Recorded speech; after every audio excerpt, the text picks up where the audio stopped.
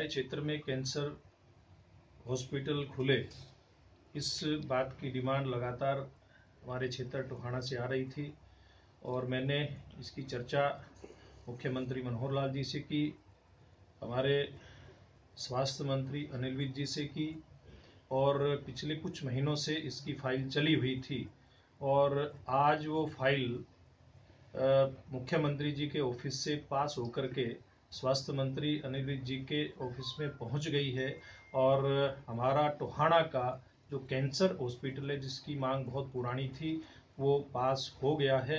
इसकी जानकारी अभी मुझे, मैं चंडीगढ़ से निकला तो हमारे स्वास्थ्य मंत्री अनिल विज जी ने टेलीफोन पर दी, मुझे बधाई दी इस बात की। उन्होंने कहा कि आपके क्षेत्र की बहुत पुरानी मांग आज पूरी हुई है तो मैं इस बात के लिए टोहाना क्षेत्र के नागरिकों को बधाई देता हूँ। और उनको ये शुभकामनाएँ देता हूँ कि भविष्य में, वैसे तो किसी को बीमारी ना आए, लेकिन अगर कैंसर की बीमारी से पीड़ित कोई मरीज़ हमारे टोहाना और आसपास के क्षेत्र में आता है तो उसको यहाँ पर अच्छी सुख सुविधाएँ मिले। इस बात का पूरा प्रयास मेरा और हमारी सरकार का रहेगा। और जो हमारा वर्तमान में सिविल हॉस्पिटल है, सामान्य अस्पताल है, इसका ही विस्तार इसमें किया जाएगा। और एक आधुनिक तरीके की मशीनों से सुसज्जित कैंसर हॉस्पिटल टोहाना में बनेगा।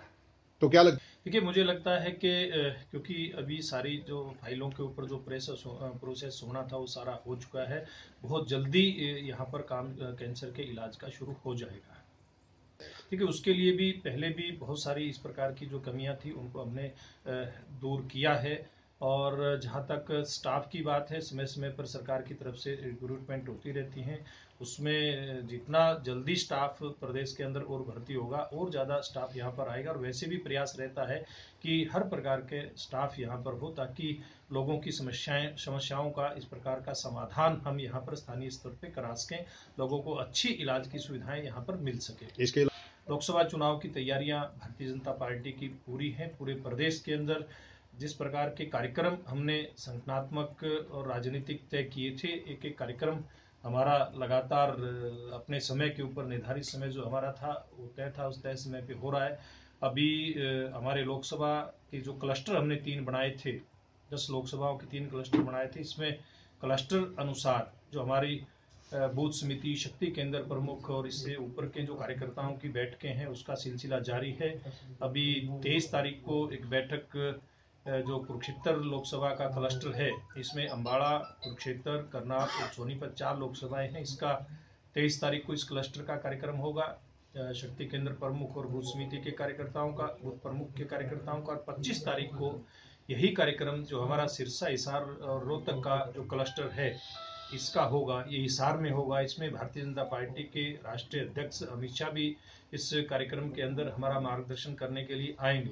इसी प्रकार से 26 तारीख को हमारा जो कमल ज्योति का कार्यक्रम है, जो सरकारी योजनाओं के, चाहे वो प्रदेश की है, चाहे केंद्र की योजनाएँ हैं, उनके लाभार्थी हैं, ऐसे सब लाभार्थियों से मिलने का जो कार्यक्रम हमारा चल रहा है, संपर्क का कार्यक्रम चल रहा है, वो 26 तारीख को उस दिन उनके घरों के ऊपर दीपक जलाने का काम किया जाएगा। इसको कमल ज्योति कार्यक्रम हमने नाम दिया है तो 26 तारीख को ये कार्यक्रम होगा और 28 तारीख को पूरे हरियाणा प्रदेश के अंदर मंडल अनुसार कार्यकर्ताओं की बड़ी बड़ी बैठकें होंगी, जिसमें हमारे बूथ समिति तक के कार्यकर्ता हिस्सा लेंगे और इस इन कार्यकर्ताओं को देश के प्रधानमंत्री जो बड़ी बड़ी हम वहाँ पर स्क्रीन लगाएँगे उसके माध्यम से कार्यकर्ताओं को संबोधित करेंगे और रेवाड़ी विधानसभा के कार्यकर्ताओं से देश के प्रधानमंत्री सीधी बात भी करेंगे, उनसे सवाल लेंगे और अपनी बात कहने के बाद वहाँ के लोग देश के प्रधानमंत्री जी से सवाल भी कर सकेंगे। ऐसा रेवाड़ी में कार्यक्रम हमने रखा है। वहाँ पर हमारे वहाँ के विधायक और सब प्रमुख लोग उस कार्यक्रम में हिस्सा लेंगे। और इस कड़ी का आखिरी जो हमारा एक बड़ा कार्यक्रम होगा, हमने हर विधानसभा में हर बूथ अनुसार पाँच से ज़्यादा मोटरसाइकिल के वाले जो कार्यकर्ता हैं हमारे, उनकी हमने सूची बनाई है। हर बूथ से पाँच से अधिक की सूची हमारी तैयार हुई है। ऐसे सब कार्यकर्ता मिल करके विधानसभा अनुसार मोटरसाइकिल रैली करेंगे। इसमें सब बड़े नेता, विधायक, मंत्री अपने अपने विधानसभा क्षेत्र में रहेंगे और लगभग चार से पाँच घंटे की हमारी ये यात्राएँ रहेंगी। तो इस प्रकार के कार्यक्रम हमने लोकसभा चुनाव की तैयारी के लिए रखे हैं। और इसी दौर में बहुत सारी हमारी दूसरी तैयारियाँ भी चल रही हैं। बहुत सारे अन्य दलों के लोग जो भारतीय जनता पार्टी में बूथ स्तर से लेकर के प्रदेश स्तर के जो शामिल होना चाहते हैं उनको भी शामिल करवाने का कार्यक्रम हमारा लगातार चल रहा है। भविष्य किसी से नहीं क्योंकि भारतीय जनता पार्टी का गठबंधन जनता के साथ है।